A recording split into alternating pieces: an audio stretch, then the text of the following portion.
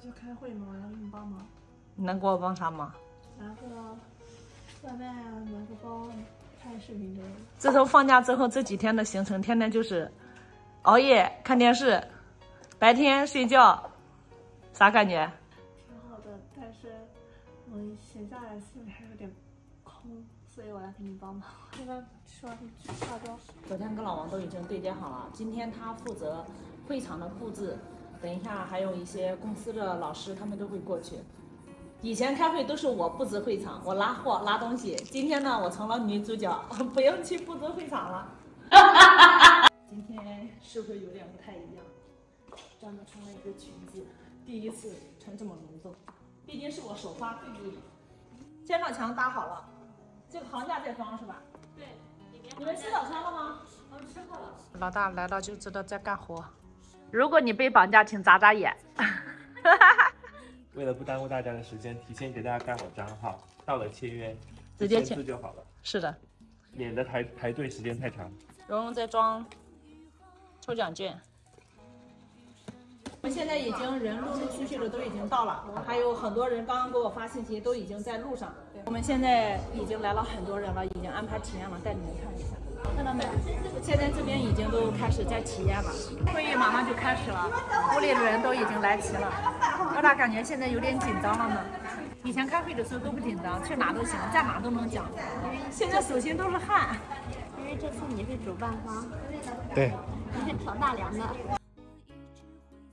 今天这个会议呢，对于我来说是一个挑战。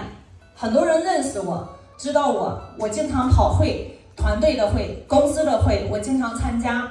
但是自己独立去办会，确实是一个压力。首先在这里呢，要感谢公司胡总给我的支持，亲临到我们的现场。我们把这个掌声送给胡总，好不好？好。我想把我的故事分享给大家。我是一个九零后三宝妈，我跟我前夫认识的时候，我们俩是相亲认识的。我的经历就是相亲、生子、结婚、创业，然后被出轨、被离婚、被抛弃。你们有没有经历过那种绝望的时候？有没有经历过那一种看不到希望的时候？很多人认识我的都觉得菜菜是个小太阳，每天嘻嘻哈哈的。但是你知道吗？很多的事情都是我自己经历。当时我们来到合肥这边的时候呢，怀着用五十块钱自己能过一个月，就在一六年的时候，我一直在相信他会东山再起，他在为我们努力。我感觉我是给自己在洗脑，但是我等来的是背叛，我等来的是小山给我发信息说我们已经生活在一起一年了。我经历了这么多的事情的时候，我依然坚信我要把三个小孩给留在身边。为什么？因为我是一个妈妈，我的人生已经开始一大半了。我家孩子他们的人生才刚刚开始，我不想去放弃他们。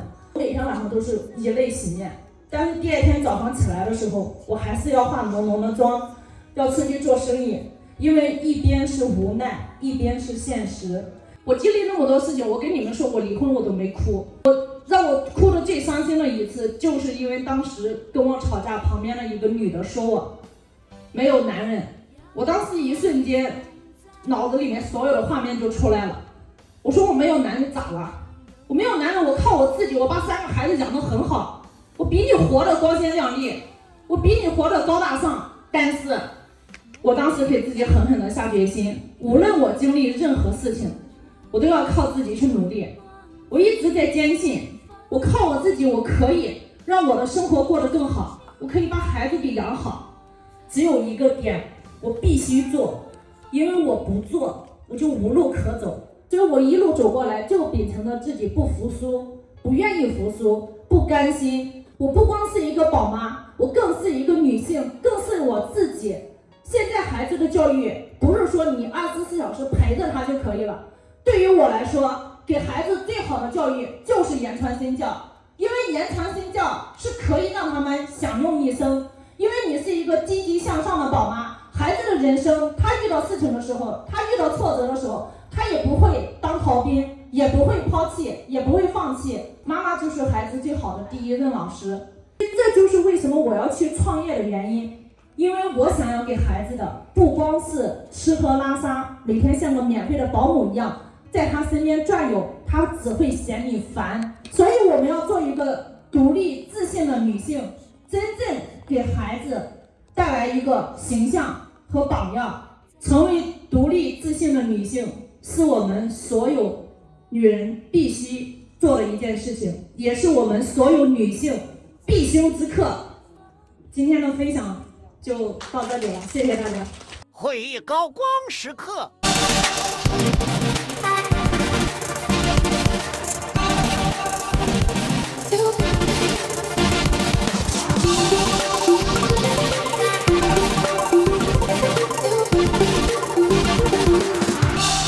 啥感觉？在这待了一天，是还行。那你现在可以收东西了，好吧？现在是七点不到，六点半了。收了东西，我们吃饭就可以回家了。